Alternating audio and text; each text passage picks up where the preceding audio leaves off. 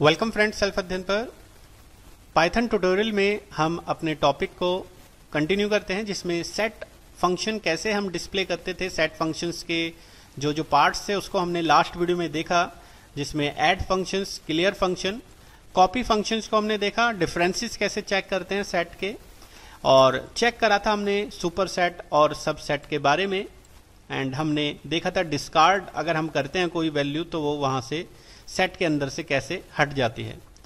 एक और इसका फ़ंक्शन है डिलीट फ़ंक्शंस डिलीट और डिस्कार्ड में थोड़ा सा डिफरेंस है। डिस्कार्ड हमें एरर नहीं देता है अगर वो वैल्यू एग्जिस्ट नहीं करती। लेकिन डिलीट फ़ंक्शन में हमें एरर मिलेगा अगर वो वैल्यूज़ एग्जिस्ट नहीं करती।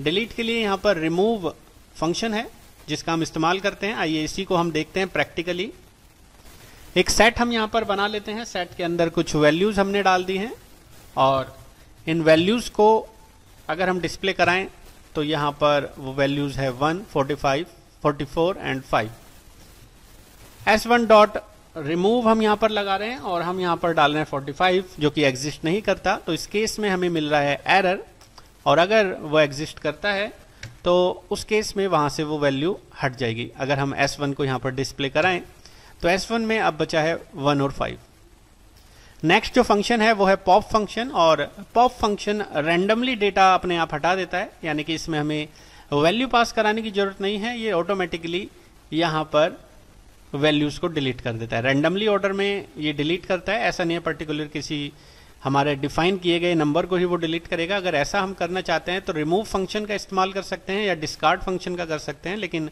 रैंडमली अगर हम नंबर हटाना चाहते हैं तो हम पॉप फ़ंक्शन का इस्तेमाल करेंगे।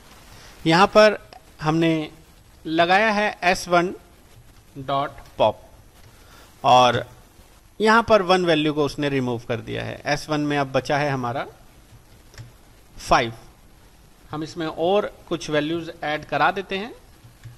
वैल्यूज़ ऐड कराने के बाद हम अपने सेट को देखें तो यहाँ पर अब वैल्यूज़ ऐड हो चुकी है और रेंडमली वो ऐड हो चुकी है। ट्वेल्व कहीं और गया है फोर्टीन कहीं और गया है। अगर डिलीट कराते समय पॉप कराते समय हम वैल्यू को रखना चाहते हैं तो एक डी नाम के वेरिएबल में मैंने यहाँ पर एस वन डॉट पॉप लगाया है और इस पॉप फ़ंक्शन से जो भी वैल्यू आएगी रिटर्न होके, वो डी में जा रही है। और डी को अगर हम डिस्प्ले कराएँ तो डी में आया है ट्वेल्व यानी कि 12 नंबर हमारे सेट से हट चुका है। सीधे सीधे अगर हम कोई सीक्वेंस चाहे वो लिस्ट हो या हमारा कोई अलग सेट हो वो हम सेट फ़ंक्शंस के ज़रिए डिफाइन करा सकते हैं। टपल वगैरह भी हम यहाँ पर एज अ सेट फ़ंक्शन से कन्वर्ट करके उसे सेट में डिफाइन करा सकते हैं। यहाँ पर कोई भी एक वैल्यू ऐड नहीं होगी, क्योंकि सेट के अंदर एक सीक्वेंस पास होता है। जिसको देखते हैं प्रैक्टिकली जैसे हमने एक लिस्ट यहाँ पर दे दी है वन थ्री फोर और एक सेट के अंदर सेट फ़ंक्शन से हमने वो सीक्वेंस पास करा दिया है, और वो सीक्वेंस का अगर हम टाइप चेक करें तो वो है सेट अगर हम सिंपल सेट फ़ंक्शन डिफाइन कर रहे हैं, और उसके अंदर कोई एक ही वैल्यू डाल रहे हैं तो वो पॉसिबल नहीं है, उस केस में हमें एरर आएगी, क्योंकि वो इट्रेबल नहीं है। ट्रेबल सीक्वेंस नहीं है। अगर हम यहाँ पर पैरेंथेसिस का दोबारा इस्तेमाल करें फ़ंक्शन के अंदर और एज अ टपल उस वैल्यू को पास कराते हैं तो फिर वहाँ पर एज अ सेट वो डिफाइन हो जाता है। आप उसका टाइप अगर चेक करें तो वो होगा यहाँ पर सेट तो ये थोड़े तरीके हैं। आप सेट फ़ंक्शन से भी सेट को डिफाइन कर सकते हैं या सिंपल जैसा हमने देखा था करली ब्रेसिस का यूज़ से भी हम सेट को डिफाइन कर सकते हैं पाइथन के अंदर। अगर मैं इसमें कोई और वैल्यूज़ ऐड कराना चाहता हूँ, जैसे एस में देखें तो वन थ्री एंड फोर है। एस में हम अपडेट कर देते हैं अपने दूसरे सेट को। और यहाँ पर जब हम ऐड कर रहे हैं एस के अंदर तो आप देखेंगे वन थ्री फोर एंड दूसरे सेट की वैल्यू भी यहाँ पर अपडेट हो चुकी है। तो अपडेट फ़ंक्शन से हम मल्टीपल सिक्वेंसेस को भी यहाँ पर ऐड करा सकते हैं। हम चाहें तो यहाँ पर S two comma S three अगर एस थ्री भी यहाँ पर क्रिएट होता तो वो सारी वैल्यूज़ भी हम एस यानी कि जो सेट है, उसके अंदर अपडेट करा सकते हैं। ये सभी चीज़ें पीडीएफ के रूप में अवेलेबल हैं। वेबसाइट पर www.selfadhyan.in अगर आप मेंबर हैं तो वहाँ से इन पीडीएफ को डाउनलोड करके इनके ज़रिए स्टडी कर सकते हैं। अपडेट फ़ंक्शंस के बाद एक होता है हमारा इंटरसेक्शन फ़ंक्शंस जो कि इंटरसेक्ट करता है कि S1 के अंदर ऐसी कौन कौन सी वैल्यू है जो सेट टू में भी है? और सेट टू में आप देखेंगे 12 और 15 ये दोनों वैल्यू इंटरसेक्ट करती हैं दोनों वैल्यू मिलती हैं इसलिए वहाँ पर इंटरसेक्शन में वही वैल्यूज़ को यहाँ पर डिस्प्ले करा रहा है। अगर हम यहाँ पर एस डॉट इंटरसेक्शन देखें सेट टू के साथ तो जो वैल्यू एज ऐड हुई थी आ, थोड़ा सा स्पेलिंग मिस्टेक हो गया इंटरसेक्शन के अंदर स्पेलिंग अब ठीक हो चुकी है इंटरसेक्शन अगर हम चेक करें तो 12, 13 एंड 44 क्योंकि ये एग्जिस्ट करता है दूसरे सेट में भी तो वो इंटरसेक्शन है जो दोनों में कॉमन है वो इंटरसेक्शन वैल्यू हमें डिस्प्ले हो जाएगी। एक होता है union function union function set one या जिस भी सेट को हम कंपेयर कर रहे हैं वो अगर डुप्लीकेट वैल्यू होती है तो उसको इग्नोर कर देता है और जो यूनिक वैल्यू होती है उनको वहाँ पर डिस्प्ले कराता है। तो एक एग्ज़ाम्पल से देखते हैं इसको भी।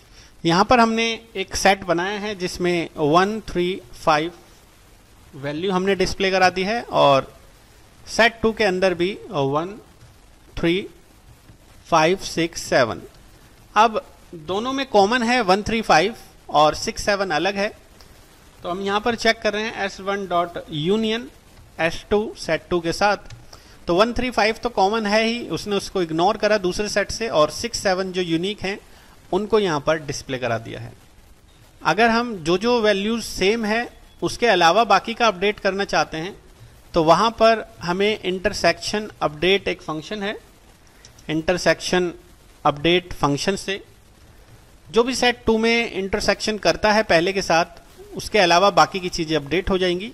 आप अगर S1 को देखें तो इसमें बचा है वन थ्री एंड फाइव एक और एग्ज़ाम्पल देखते हैं उससे और अच्छे से क्लियर होगा। S3 में हमने लिया है 12, 20, 25 और S4 हमने बनाया है इसमें लिया है हमने 10, 9 और 20, 25 इसके बाद हम यहाँ पर लगाते हैं S three dot intersection update S four के साथ। और इंटरसेक्शन अपडेट करने के बाद जब हम एस थ्री को डिस्प्ले करा रहे हैं तो आप देखेंगे 25 एंड 20 ही डिस्प्ले हो रहा है, क्योंकि ये दोनों कॉमन है। जो चीज़ें कॉमन थी वो यहाँ पर अपडेट हो चुकी हैं। बाकी जो S3 में 12 था, वो वहाँ पर इग्नोर हो चुका है, क्योंकि वो एग्जिस्ट नहीं करता। तो इंटरसेक्शन अपडेट जो जो चीज़ें कॉमन होती हैं दोनों सेट्स में, उसको अपडेट करता है, बाकी को यहाँ से रिमूव कर देता है सेट के अंदर से।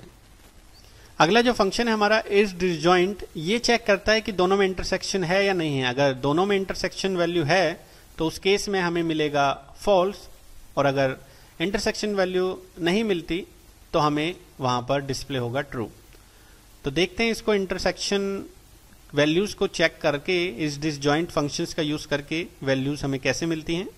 यहाँ पर हमने एक सेट बना दिया है ए जिसमें कुछ वैल्यूज़ रख ली है।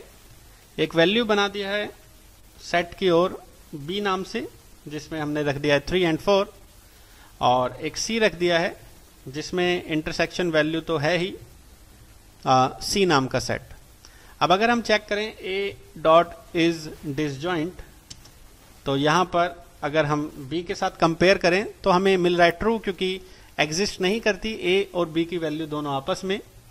अगर हम यहाँ पर चेक करें A dot is disjoint C के साथ तो वैल्यूज़ इंटरसेक्ट हो रही हैं और उस केस में हमें यहाँ पर मिल रहा है फॉल्स तो ये थे हमारे सेट फ़ंक्शंस के अलग अलग तरीके से यूज़ हम कैसे करते हैं पाइथन ट्यूटोरियल के अंदर.